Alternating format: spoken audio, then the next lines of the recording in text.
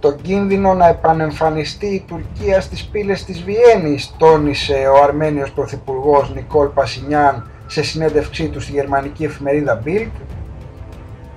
Είπε επίσης ότι κατά τη γνώμη του το Αρτσάχ και η Αρμενία βρίσκονται στην πρώτη γραμμή του πολιτισμού σήμερα.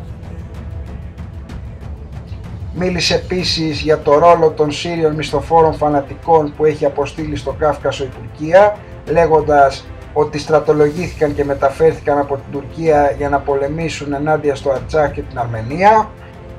Μίλησε για επιχειρήσεις για την αποκατάσταση της τουρκικής αυτοκρατορίας η οποία ακολουθεί μια σειρά από βήματα που έκανε η Τουρκία στη Μεσόγειο, τη Μέση Ανατολή και τη Λιβύη. Συνέχισε λέγοντας ότι η Τουρκία επέστρεψε στο Νότιο Κάφκασο μετά από 100 χρόνια για να συνεχίσει τη γενοκτονία των Αρμενίων που πραγματοποιήθηκε το 1915 στην Οθωμανική Τουρκία.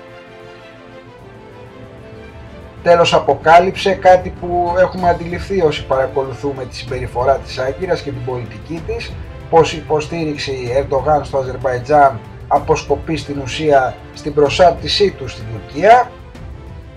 Πιστεύω ότι κατά πάσα πιθανότητα στόχος είναι να απαλλαγεί από το ανεξάρτητο Αζερβαϊτζάν, το οποίο θα απορροφηθεί από την Τουρκία, είπε ο Αρμένιος Πρωθυπουργός.